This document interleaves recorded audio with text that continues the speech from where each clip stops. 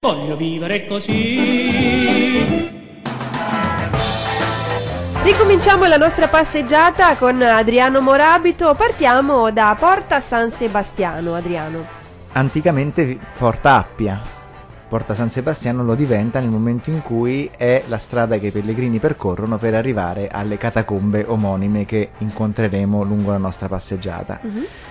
La porta si apre eh, su quelle che sono le mura aureliane. Nel 270 circa a eh, Roma, mh, che aveva in qualche modo delle mura naturali nelle Alpi e, e, l'impero era appunto estesissimo, per la prima volta le Alpi vengono superate dagli Alemanni, che giungono quindi fino a Piacenza prima di essere respinti. Ci si rende conto quindi che forse anche la città ha bisogno di nuove mura, perché le vecchie mura, quelle repubblicane, quelle, eh, quelle, serviane, ormai non erano più in funzione e comunque eh, racchiudevano solamente una piccola parte della città e quindi vengono eh, realizzate queste, quest'opera ciclopica, e quindi eh, eh, Aureliano non ha diciamo, timore di affrontare queste anche spese enormi e, e vengono disegnate e poi realizzate delle mura lunghe più di 18 km. Chiaramente su queste mura c'erano poi delle aperture e delle porte. Le, le, mura all'epoca non erano molto alte, erano alte più o meno 6 metri e spesse 3,50. Ogni 30 metri c'erano delle torri a pianta quadrata che in effetti ripercorrendo le mura possiamo rivedere in molti punti. Non era quindi una difesa particolarmente insormontabile, era anche abbastanza modesta. La forza era nel esercito che invece le presidiava, quindi delle truppe molto numerose e organizzate che si potevano anche muovere velocemente lungo le mura. Poi, man mano, le minacce divennero sempre maggiori e in vari momenti vari eh, imperatori eh, decisero di porre mano alle mura e alzarle, anche Massenzio stesso, e poi lo incontreremo anche più tardi questa personalità. Sì. Quindi in corrispondenza delle vie principali si creano delle porte e siccome le strade erano in quel tratto fuori del, della cerchia diciamo urbana, uh-huh. erano chiaramente contornate da tombe e quindi anche la zona dove poi si decide di far passare le mura e quindi di costruire le porte. Ecco che alcune tombe vengono inglobate all'interno delle porte stesse e anche di Porta Appia. Il, eh, la genesi la, eh, del, della porta è molto complessa perché molti rimisero mano alla porta e quindi ci sono cinque fasi distinte, quindi le, le torri ehm, assumono delle, delle, forme diverse, passano da, da, quadrate a circolari e quindi eh, subisce molte molte modifiche. C'erano delle ragioni militari per questa modifica? Beh, perché cambiavano anche le, le, tecniche militari e quindi sicuramente da questo punto di vista ci si rendeva conto che eh, magari una torre semicircolare era migliore delle torri quadrate che erano quelle che invece costruivano i romani. Riguardava quindi l'efficienza. Eh sì, sicuramente. Quindi ehm, la cosa interessante della porta è che passando al di sotto dell'arco noi troviamo delle, delle incisioni e una soprattutto molto bella è quella che rappresenta l'arcangelo Michele che uccide il drago, quindi questa bellissima eh, graffito in qualche modo e, e, che si trova sulla destra per chi esce, dove c'è scritto che nell'anno 1327 entrò gente straniera nella città e fu sconfitta dal popolo romano era in effetti eh, il, l'attacco che eh, il re di Napoli Roberto d'Angiò provò a fare alla città di Roma nel momento in cui il Papa era nell'esilio avignonese. E, ehm, per dare un'idea anche della potenzialità bellica che, eh, questa, che venne raggiunta da questa grande opera difensiva nel 300, eh, pensiamo che le enormi balestre di cui era fornita riuscivano a inchiodare a un albero un uomo in corazza a una distanza di 400 metri e le catapulte per il lancio di pietre o di bombe incendiarie raggiungevano una, una distanza di 300 metri quindi era sicuramente un punto da cui ci si riusciva a ben difendere da eventuali assalitori. Chiaro, assolutamente. Senti mm, Adriano, ma le porte di cui stiamo parlando sono visitabili all'interno? Erano abitabili tutte? Perché sappiamo che la porta di San Sebastiano in questo caso sì. Sì, allora, eh, ad oggi eh, Porta San Sebastiano eh, ha all'interno un museo, che è Sì. il Museo delle Mura, perché fra l'altro eh, ovviamente dalle porte poi si accedeva ai camminamenti e una parte di questo camminamento è anche percorribile eh, dall'interno del museo. Eh, quello a cui ti riferisci è forse il, il fatto che dal 1941 al 1943, quindi alla fine del periodo fascista, eh, divennero eh, le- le- i locali superiori del- del- della porta studio e abitazione di Ettore Muti, che era il segretario del partito fascista. Esatto. E, e poi a questo è legato un evento mh, insomma, eh, particolare, ovviamente della fine di un, di un regime, di un, di un ventennio, per cui nel momento in cui poi Ettore Muti fu ucciso e il, eh, gli i locali che erano da lui abitati furono eh, saccheggiati dalle persone che ovviamente erano a questo punto un po' in rivolta. Sì, la notizia ancora non si era diffusa eh, al meglio dis- rispetto a quello che abbiamo letto e studiato sui libri di storia, ma già le persone avevano saputo evidentemente da- in altri modi di, di questa uccisione e quindi hanno cominciato ad entrare all'interno della, della porta, dell'abitazione di Ettore Muti e saccheggiare effettivamente tutto ciò che, che vi era contenuto. Noi stiamo continuando la passeggiata e arriviamo al vicino a una colonna importante. Sì, eh, passiamo quindi la, la porta e siamo fuori, finalmente fuori dalle mura. E in questo punto troviamo la colonna del primo miglio. Perché qui? Perché la, la via Appia iniziava in effetti da Porta Capena, quindi dal Circo Massimo, ed ecco che il primo miglio, i primi 1400 metri erano già stati percorsi. Colonna del primo miglio che, eh, og- che, mh, oggi si trova in Campidoglio sulla balostrata insieme a quella del sesto miglio, quindi quella che noi vediamo percorrendo l'Appia Antica è in effetti una copia. Poco più avanti, diciamo purtroppo, eh, eh, le esigenze del, del trasporto moderno hanno portato a costruire un cavalcavia, anzi in effetti sono due, in cui passa da una parte la ferrovia Roma-Pisa e poi passa la, la- la via Cilicia, anche- strada trafficatissima anche questa, eh, che eh, appunto in quel punto scavalca l'Appia Antica. Quando si fecero i lavori di sbancamento ai lati della strada, fu- anche qui, ma non ce ne stupiamo, si, trovò- si trovarono dei mausolei e dei colombari, ovviamente. Poco dopo, sulla sinistra, quasi subito dopo il- i due cavalcavia, si trova piccola, eh, un piccolo edificio di color rosa, più o meno. Eh, che cosa Eh, serviva? Era il servizio daziario, perché comunque, qua ancora diciamo fino al periodo del papato, chi entrava a Roma doveva dichiarare delle merci e doveva pagare su questo delle eventuali imposte. E questo era il vecchio edificio eh, daziario. Oggi come oggi è un- una sede distaccata operativa dell'AMA. Eh, però è ancora Come lì e- e- esatto, ed ha comunque una forma molto graziosa, è molto, è molto carina. Di fronte al servizio daziario c'è Via della Travicella. Via della Travicella eh, è in realtà un- una corruzione di Via della Traversella, quindi una piccola traversa che raggiungeva Porta San Paolo percorrendo in qualche modo ehm, una strada parallela quasi alle mura, quindi da qui si andava verso ovest e raggiungeva eh, Porta San Paolo. Facciamo ancora qualche passo e arriviamo a scorgere le acque di un fiume molto importante per Arriviamo a scorgere le acque dell'Almone e prima di questo però mi permetto di dire che eh, al numero 26 c'è la sede di Roma Sotterranea. Come quindi- no? Lo sappiamo, lo sappiamo Eh, bene. questo lo sappiamo, però è una, una sede che fra l'altro si trova all'interno di un edificio antico, comunque Mhm. che probabilmente era anche mh, in passato un, comunque un sepolcro romano sul quale poi si è innestato questo edificio, eh, eh, un, un edificio di campagna del Settecento e, e- e qui c'è la nostra sede per cui se volete venirci a trovare il giovedì sera dalle 9 eh, siamo tutti i giovedì lì e facciamo la nostra riunione operativa eh, per le attività che svolgiamo normalmente. Andando avanti arriviamo appunto, come dicevi tu, all'Almone. L'Almone è questo fiume che ehm, oggi vediamo un pochettino, riusciamo a scorgere fra le canne, ma che riforniva una cartiera che si trovava proprio lì sull'altro lato. Quella in realtà è la sede del Parco dell'Appia Antica, quindi la cartiera è stata anche risistemata ed oggi è anche uno spazio espositivo ed è molto piacevole da visitare. Ecco, le acque del- di questo fiume, dell'Almone, che era considerato un fiume sacro, venivano, venivano utilizzate per eh, un ruolo particolare. Sì, i sacerdoti di Cibele, eh, quindi la Magna Mater, ci lavavano la pietra nera, che era lapis, eh, questa, questa pietra particolare, che eh, si diceva eh, magica perché è caduta dal cielo, forse era un meteorite. E, e addirittura proveniva dalla, dalla, Turchia e quindi era, ritorniamo sempre a quelli che erano dei, dei culti veramente primitivi eh, nell'antica Roma.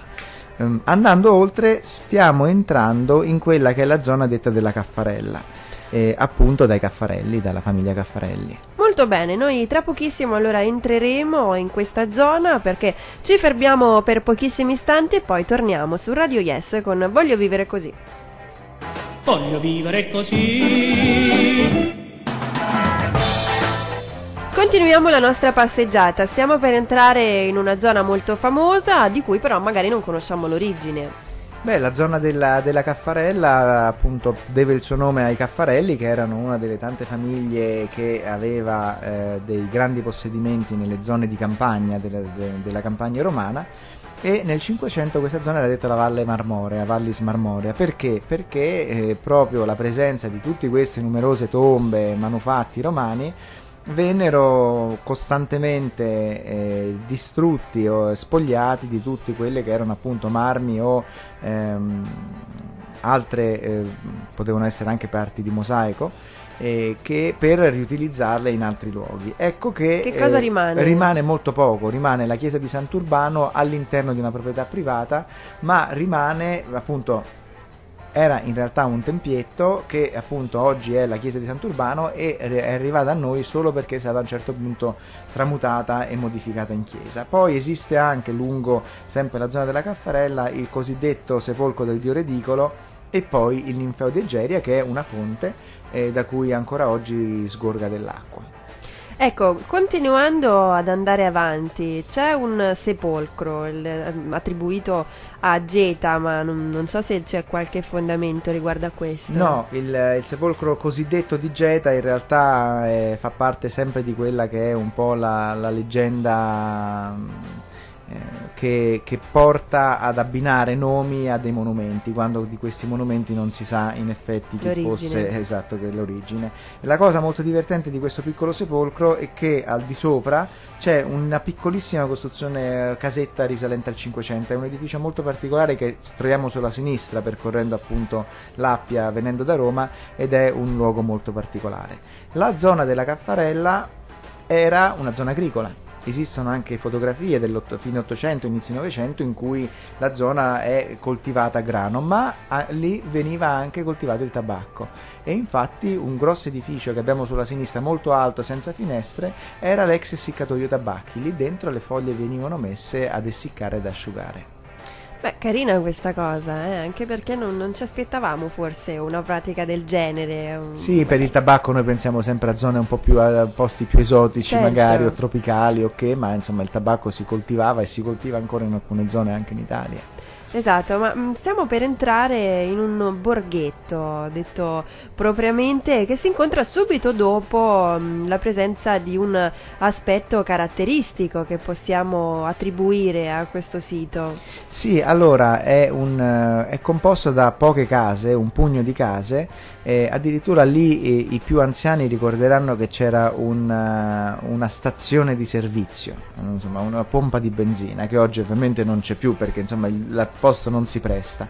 E questo piccolo borghetto nasce in un punto particolare, uno snodo, perché è il punto in cui l'Appia va leggermente a sinistra e l'Ardiatina invece va verso destra, quindi è questa biforcazione della strada. E quindi è composta di tutto quello che in effetti eh, un, un, luogo, un piccolo borgo deve avere, e cioè una piccola chiesa, che è la famosissima chiesa del Domenico Vadis, che in realtà si chiama Santa Maria in Palmes, eh, e poi anche un, um, quello che era una torre medievale appunto di controllo della zona che eh, si era installata al di sopra del sepolcro di Priscilla. La chiesetta del Domenico Vadis è famosa perché è legata a un evento particolare che è la fuga di Pietro da Roma. Uh-huh. Eh, in quel punto la leggenda dice eh, che eh, lui incontra Gesù, il quale gli dice ma dove, mm, che, che invece va verso Roma. Sì. E quindi Pietro chiede a Gesù dove sta andando e Gesù dice vado a farmi crocifiggere di nuovo.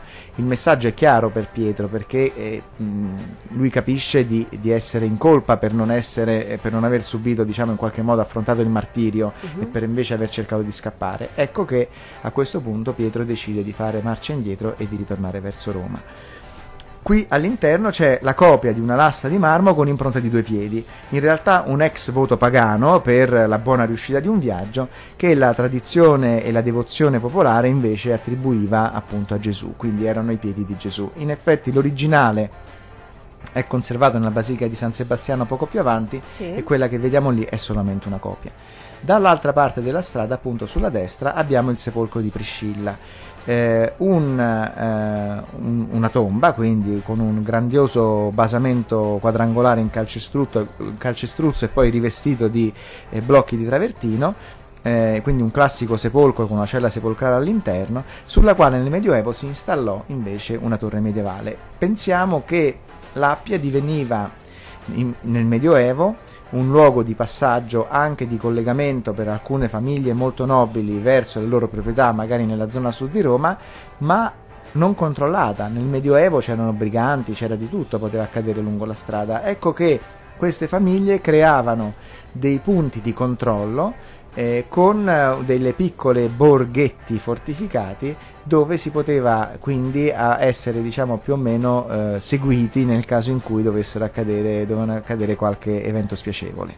Infatti successivamente il sepolcro è stato sovrapposto da una torre. Esatto, c'è stata una torre e, e, poi alla fine della sua vita in effetti la povera camera sepolcrale fu usata eh, come caciara, e cioè come luogo dove venivano prodotti e messi a stagionare i formaggi, quindi dove venivano messi i caci. Ecco, perché, ecco abbiamo ecco raccontato caciara, già sì. l'altra volta questo aneddoto esatto. carino dell'origine della parola prettamente romanesca caciara Ciara. Ecco, ma Priscilla era la moglie di Tito Flavio Abbascanto, che era a sua volta un liberto di Domiziano. Quindi ricordiamo questa pratica di, ehm, da parte dei liberti di acquistare dei terreni o comunque di utilizzare i terreni che gli venivano donati per ergere dei monumenti alla propria famiglia oppure non so, a un personaggio in particolare. Sì, ma in questo caso, come in tanti altri, eh, appunto ricordiamo i liberti erano degli schiavi liberati. Esatto. E molto spesso provenivano da ehm, erano schiavi di imperatori o comunque di personaggi molto famosi e influenti ed erano anche persone molto colte spesso, proprio perché se si trovavano al, a, dire, al servizio di personaggi così importanti erano sicuramente persone colte che magari arrivavano dalla Grecia o da altre zone del, dell'impero. E, e, queste persone nel momento in cui venivano liberate assumevano tutti i diritti degli altri cittadini romani e, e quindi eh, potevano anche diventare persone molto ricche. In questo caso il sepolcro è il sepolcro solamente dedicato a una persona, quindi sicuramente questa famiglia doveva essere una famiglia eh, comunque benestante. Chiaro, noi tra pochissimo parleremo di un altro sito che caratterizza la Via Appia, parleremo delle catacombe, partiremo da quelle di San Callisto e arriveremo a quelle di San Sebastiano, ma tutto questo tra pochi secondi perché state con noi dopo una brevissima pausa. Voglio vivere così su Radio Yes stiamo per parlare di un sito particolarissimo che caratterizza una zona della nostra città, quindi stiamo ancora passeggiando sulla, sulla via Appia, la eh, Regina Viarum come siamo soliti chiamarla e parliamo delle catacombe di San Sebastiano. Adriano. Sì, dalle catacombe di San Sebastiano deriva il nome proprio catacombe in effetti quella era una zona dove si estraeva della pozzolana, tufo e pozzolana. Queste gallerie, quindi realizzate per l'estrazione del materiale, diventano a un certo punto eh, luogo di sepoltura. In questo caso, soprattutto per quanto riguarda le catacombe di San Sebastiano, c'era proprio un vero e proprio burrone, quindi c'era una specie di apertura, era una, una vera cava a cielo aperto. E da lì partono le sepolture, eh, che, le, queste sepolture cristiane. Eh, le catacombe quindi derivano dal termine ad catacumbas, che vuol dire presso le cavità. La cosa particolare è che eh, le catacombe di San Sebastiano furono una delle poche a rimanere accessibili per tutto il Medioevo e quindi probabilmente proprio per questo motivo eh, il termine catacomba fu poi esteso a tutti gli altri cimiteri cristiani sotterranei simili. Uno di questi è quello che abbiamo incontrato subito prima, in effetti, percorrendo l'Appia, cioè le catacombe di San Callisto. In questo caso è, eh, possiamo definirlo invece questo il più vasto complesso cimiteriale sotterraneo di Roma. Sono 12.000 metri quadri e 16 km di gallerie, almeno quelle scoperte. Fra l'altro queste catacombe eh, hanno tutte un, uno sviluppo più o meno uguale, cioè sono divise in regiones, che sono zone diverse che si sviluppano in momenti diversi e eh, sono anche eh, sicuramente eh, dei luoghi comunque affascinanti perché queste strutture erano anche su diversi livelli. Quindi eh, immaginate che cosa può eh, aver significato questo per i primi eh, esploratori di questi ambienti sotterranei, per degli speleologi antelitteram urbani che si andavano a perdere all'interno di queste catacombe. Sicuramente quando si vanno a visitare le catacombe di San Callisto come quelle di San Sebastiano, quello che noi oggi possiamo vedere è una minima parte Uh-huh. Eh, in alcuni di questi posti sono delle, esposte delle grandi eh, planimetrie dove vediamo l'estensione incredibile. È chiaro che per motivi di sicurezza, di manutenzione, la visita poi viene ristretta a una piccola parte. Immaginiamo dover percorrere 16 km in questi cunicoli sotterranei. Una cosa particolare delle catacombe che forse non molti sanno è che le catacombe venivano eh, scavate, eh, i loculi laterali venivano scavati dall'alto verso il basso, quindi immaginiamo che se esisteva una piccola galleria eh, e a un certo punto sia eh, diciamo, su ambedue i lati eh, i loculi erano stati realizzati fino al pavimento, l'unico modo per ampliarlo senza estendere troppo la catacomba era quello di scavare il pavimento e quindi di abbassarsi di livello. Uh-huh. Abbassandosi di livello si creava altro spazio laterale per creare altri loculi. Quindi in una catacomba, quasi sempre è così, i loculi più antichi sono quelli più in alto e quelli invece più recenti sono quelli nella parte bassa del, della galleria. Ah, questa è una curiosità molto interessante, sicuramente molti dei nostri ascoltatori non conoscevano. Esatto, questa è, è, è una particolarità. La eh, eh, particolarità anche delle catacombe di San Callisto è che eh, sono state realizzate da eh, un personaggio che era un banchiere e che a un certo punto cambia, come dire, la sua linea di condotta e diventa quindi diacono e poi addirittura diventa papa. E, e all'interno del, eh, delle catacombe di San Callisto sono sepolti ben nove papi, diciamo nove papi successori ovviamente di Callisto. A questo punto, ritornando al discorso della, eh, di San Sebastiano, ehm, San Sebastiano è un altro piccolo mondo sotterraneo eh, abbiamo detto, ehm, qui si cominciò a seppellire dall'età di, di, Vespasiano, non solo in tombe isolate, ma anche in colombari lungo un viottolo. E man mano, ehm, mediante riporti di terra, si creò una piazzola di tre metri più in alto, ris- eh, più in alto e attorno a varie altezze si costituirono varie tombe. Alcune bellissime con delle decorazioni molto belle che ancora oggi possiamo vedere. C'è una specie di piazzetta in qualche modo. Poi solo successivamente eh, si arrivò a creare invece la struttura che noi oggi possiamo vedere al di sopra, che è appunto la chiesa stessa, che quindi giunge ovviamente molto dopo. Le eh, sono meno estese perché sono solamente, diciamo, estese solamente 12 km, ma sono forse sicuramente le, le, catacombe più visitate di Roma proprio perché rappresentano la prima eh, struttura del genere che fu realizzata a Roma. Ma come facciamo a sapere che fosse la prima?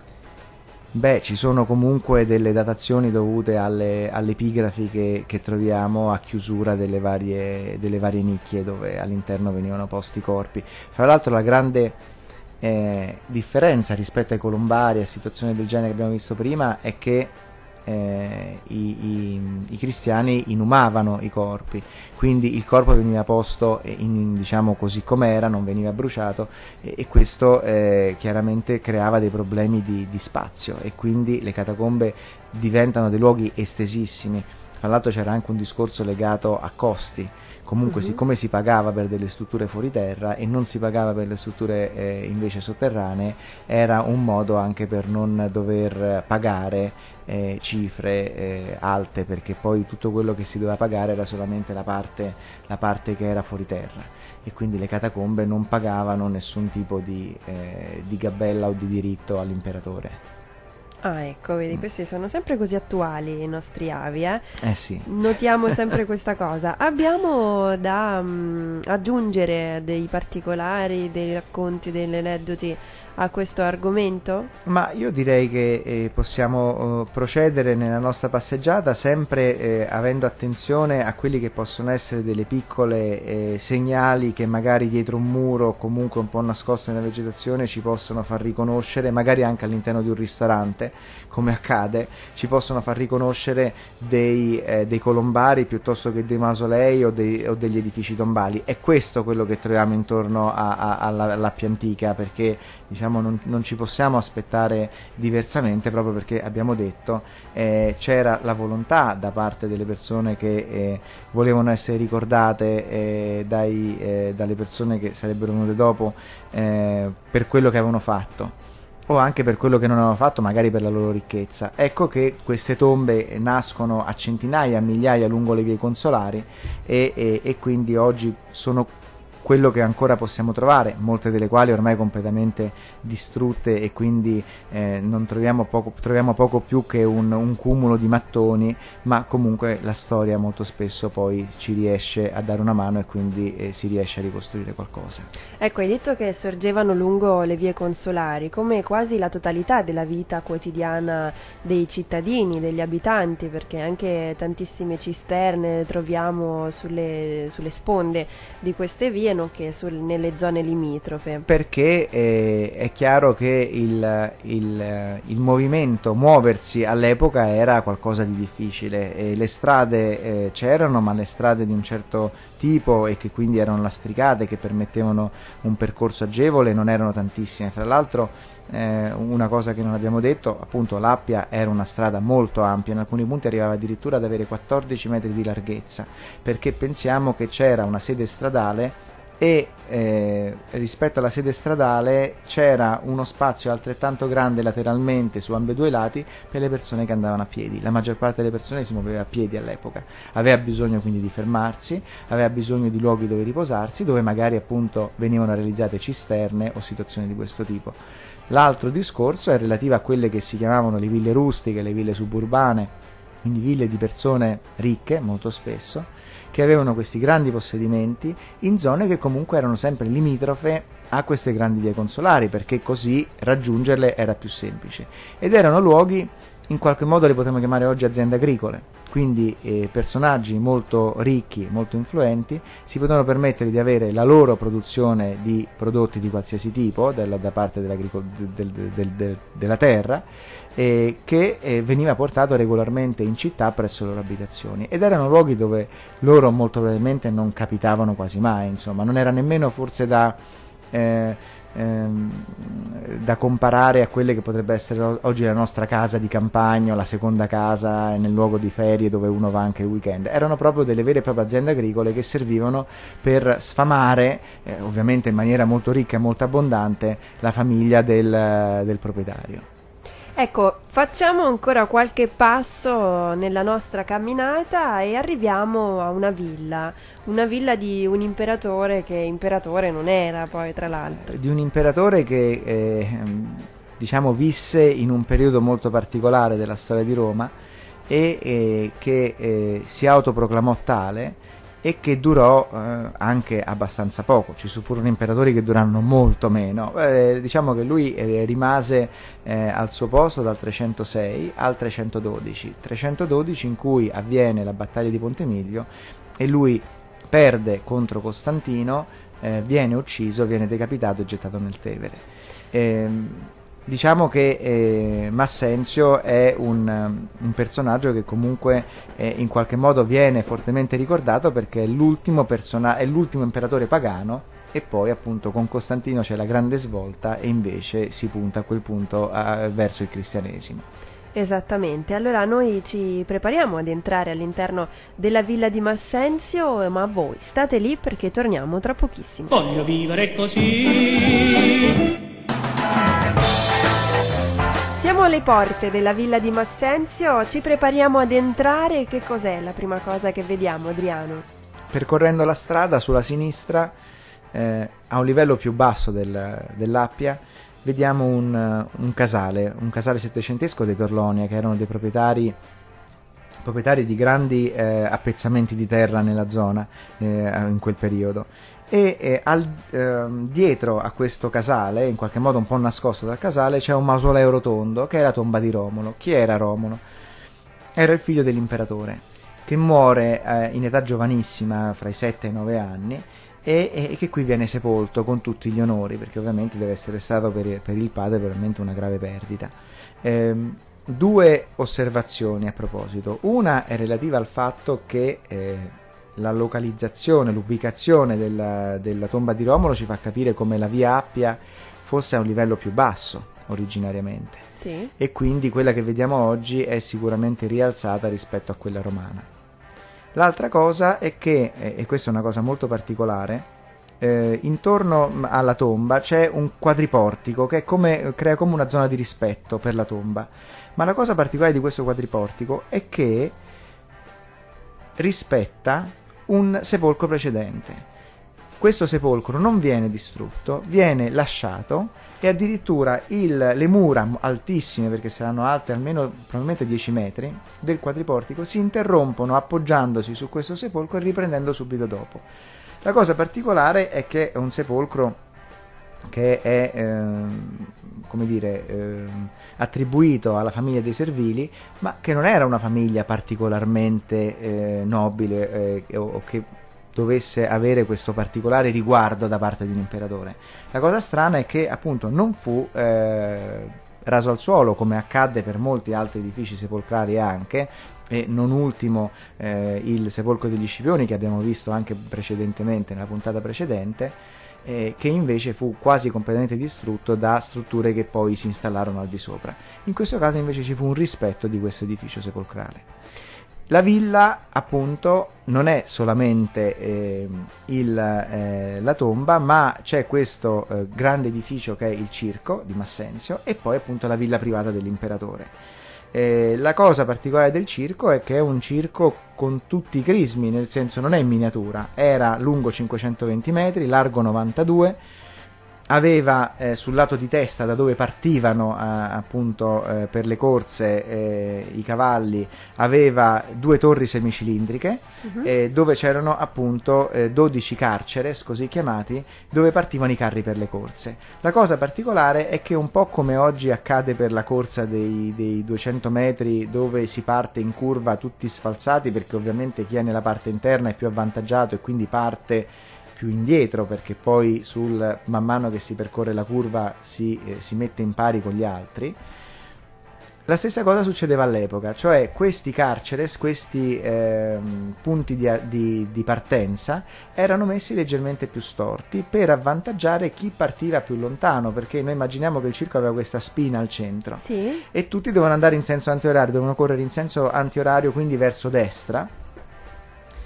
E chiaramente chi partiva completamente spostato a sinistra era svantaggiato. Ecco che vengono piegati in modo tale che tutti più o meno partano a una stessa distanza e, e- non ci sia qualcuno più avvantaggiato dell'altro. Senti, ma sappiamo che le gradinate di- del circo potevano ospitare più di ce- 10.000 persone? Sì, era un, un circo in tutto e per tutto. Immaginate quindi eh, un, un qualcosa che non è nemmeno eh, confrontabile con quella che può essere la ricchezza e l'opulenza, forse anche del più ricco emiro arabo.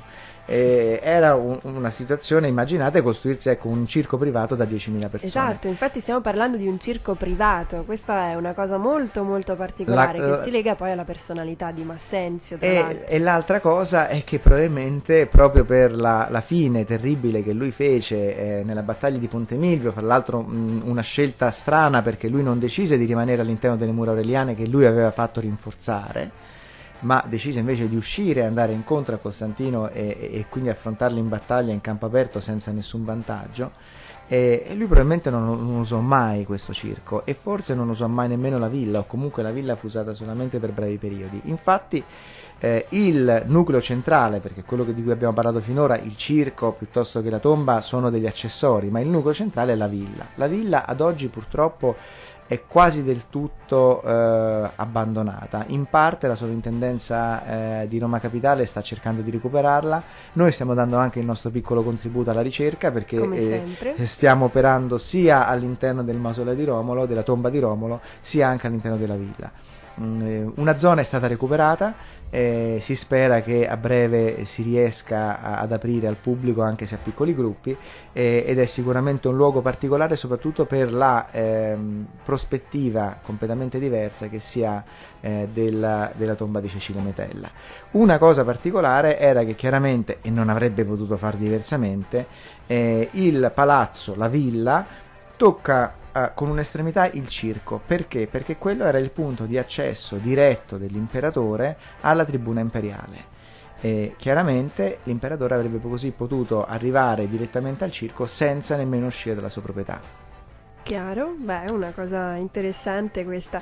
Senti, allora noi passiamo adesso oltre rispetto alla villa di Massenzio, entriamo all'interno di un altro sito molto interessante. Sì, a questo punto eh, notiamo che eh, la, la, via Appia eh, si sta pian piano alzando, sta pian piano andando in salita e eh, sulla sinistra troviamo la tomba di Cecilia Metella eh, la zona cosiddetta di Capo di Bove. Eh, ha un'origine anche questa filologica. Assolutamente sì. Ci regali sempre queste perle.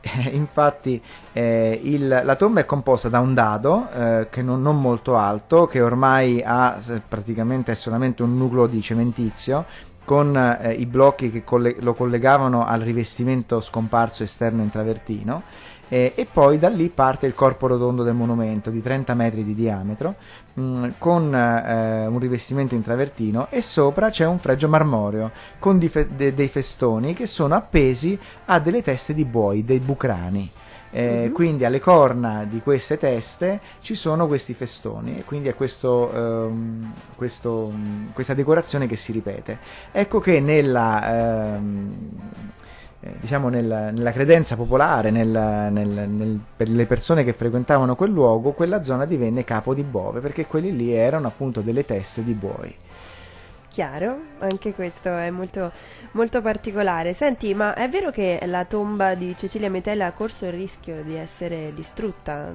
Sì, ha corso il rischio di essere distrutta perché a un certo punto eh, delle, eh, delle persone che non facevano altro che fare riutilizzo di materiali, scrissero proprio, erano dei fratelli, scrissero eh, al, eh, a Sua Santità all'epoca, perché ovviamente il periodo è quello in cui c'erano i papi, e siccome loro erano in effetti i padroni del casale di Capodibove, quindi di quell'area, eh, loro scrissero, dice, ma noi abbiamo questa sepoltura o un torrione e, e, ci tornerebbe molto comodo in effetti poterlo spogliare. Beh, Ma fra certo. l'altro eh, dicevano anche, eh, qui c'è appunto, posso leggere anche eh, quello che scrivevano in un italiano anche divertente e dicevano supplicano, umil, umil, supplicano umilmente vostra signoria illustrissima si degni di farle grazia con sua santità, quindi mettono di mezzo anche il Papa che gli concedino licenza, a ciò i signori conservatori, che erano diciamo, la parte eh, non religiosa che governava Roma, non se li oppongano, non si oppongano a questa cosa con dire di qualcosa sulle antichità. Eh, e dice non devono farlo, non devono in effetti dir nulla su questa antichità perché intanto il posto è fuori Roma, non è un luogo pubblico perché è privato, è nostro, fra l'altro ce ne sono tante altre che sono già state spogliate una per la strada di Tivoli, un'altra da un'altra parte, dice quindi tutto considerato eh, si potrebbe tranquillamente fare. Dice quindi se voi lo accettate e se crederanno anche che il popolo romano, appunto i conservatori, eh, possano accettare anche loro, riceveranno per grazia speciale di nostro Signore e continuo pregheranno il Dio per la conservazione sua. Insomma, gli dice: Poi se ci dai, lo, se ci dai il, il, il benestare, eh, noi ti pregheremo sempre e ti renderemo tanto grazie. e, e la, la, risposta di, appunto, di, di Sua eh, Eccellenza fu: Dice, Nostro Signore, appunto, quindi probabilmente forse anche il Papa direttamente, concede la grazia purché il popolo romano se ne contenti. E per fortuna il sentimento dei romani fu unanime e la Camera tipo, eh, Capitolina invece eh, sospese il beneplacito e quindi Rimase fortuna, al suo rimane, rimane ancora lì. E- ma chi era Cecilia Metella? Cecilia Metella era la figlia di eh, Metello Cretico, Cretico perché banalmente perché aveva conquistato Creta, quindi era un, Mhm. un titolo che aveva conquistato sul campo. Ma la tomba non ehm, celebra la importanza della ragazza di appunto Cecilia Metella quanto della famiglia. Eh, e quindi eh, ci sono anche una serie di, fre- di- di fregi che mostrano scene di guerra che accompagnano appunto l'epigrafe da cui noi sappiamo eh, in effetti a chi era stata dedicata e chi era la famiglia. Il tutto risale al periodo augusteo, quindi all'inizio della re- del- dell'impero e quindi intorno fra il 25 e il 10 a.C. E la cosa particolare è...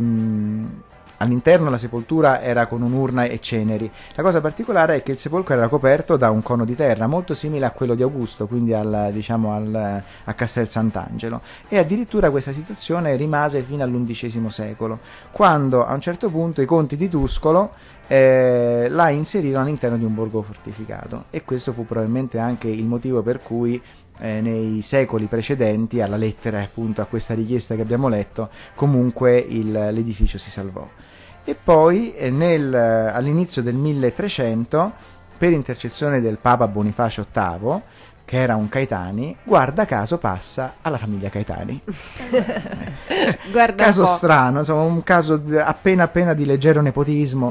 eh, e quindi eh, si giunge al, al Rinascimento. E mentre tutti gli altri mausolei venivano regolarmente spogliati dei rivestimenti in travertino, di marmo, di tutto, invece Cecilia Metella riesce a resistere, appunto ricordiamo la lettera scritta alla fine del Cinquecento per chiedere la sua distruzione, per fortuna questa non avvenne. Se in effetti noi oggi guardiamo il sepolcro, vediamo che non c'è solamente la tomba, ma c'è anche il perimetro del palazzo, dove troviamo anche gli stemmi dei Catani sopra.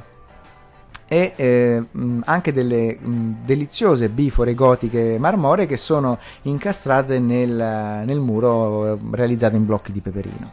La cosa particolare di questo castrum, quindi castrum inteso nel senso di castello fortificato, era che non si estendeva solo sulla sinistra dove abbiamo appunto la tomba di Cecilia Metella, ma anche sulla destra, quindi si proprio poneva sulla strada e la chiudeva completamente, con annessa anche una piccola chiesa.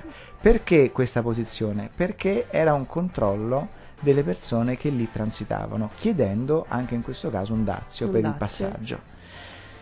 Da lì poi passò a varie famiglie nobili romane, quindi Savelli, Colonna, gli Orsini, insomma passò di mano in mano come è, è- è- è consuetudine di molti di questi beni. E si arriva poi a, guardare forse l'ultimo um, come dire, Sito, edificio, sito del nostro- della nostra passeggiata, e cioè la chiesetta gotica, ormai completamente scoperchiata, di San Nicola da Bari, che risale al 1300. La, la cosa molto particolare di questa piccola chiesa, che faceva parte appunto del castrum, del castello fortificato di Catania, è che ha questa architettura gotica che richiama le abbazzie cistercensi e che non è molto propria della città di Roma. E poi da qui la strada, risalendo appunto le prime pendici dei Colli Albani, va dritta perfettamente, potete consultare qualsiasi mappa, è, proprio completamente dritta per più di 90 km fino a Terracina.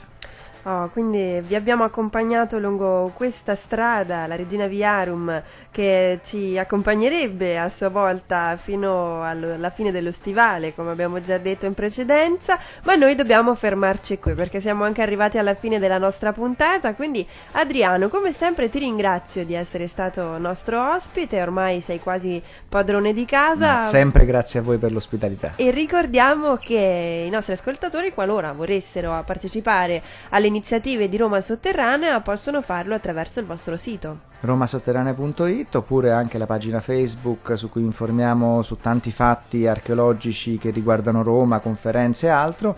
Ricordatevi che appunto siamo all'inizio dell'anno e in qualche modo quindi ci si può iscrivere all'associazione pagando 10 euro e quindi poi si fa il miglior uso di questa, di questa somma versata perché poi si ha tutto l'anno per partecipare alle numerosissime visite guidate e iniziative che sono ovviamente anch'esse a pagamento ma dei costi sempre molto molto contenuti. Contenuti. Contenuti, assolutamente. Questo è importante.